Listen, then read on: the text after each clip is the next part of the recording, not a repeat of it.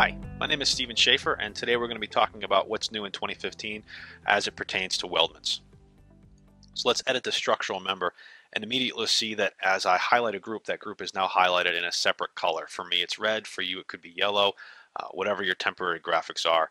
Uh, but that's a much easier way to see which group you're actually talking about. Also, if we look at the trim corner, or the corner treatment rather, we no longer now have to flip through the pages to find the different groups. They're all just on this one page here and we can easily click through those. Much better way to look at that.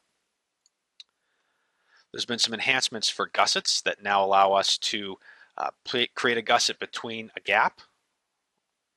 So if we go ahead and input our values here, now create my gusset without a problem. I can also create a gusset between this face and this face having a fillet in between them and between these two tubular members. Also between this tubular and rectangular member, except now we have to give it a gusset direction. So we'll just select this edge.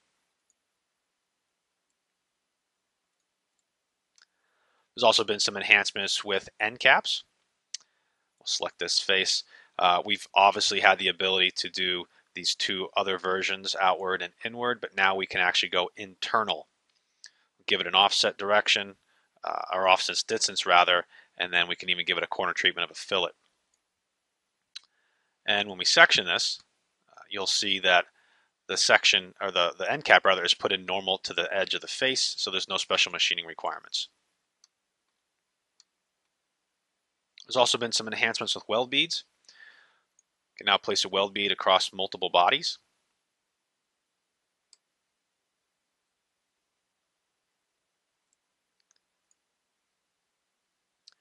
And if your selection uh, of the different bodies, different uh, areas, uh, would create multiple welds, you'll automatically see those created for you now.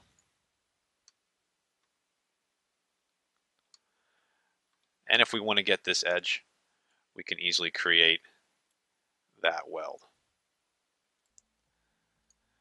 It's also been uh, support for single body, this rolled feature. If we go to weld path now, we can just select the weld path we need.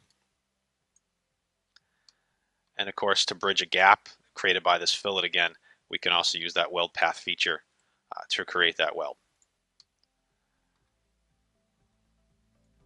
So there you have it, some of the new enhancements in SOLIDWORKS 2015 regarding weldments. Hope you found that helpful.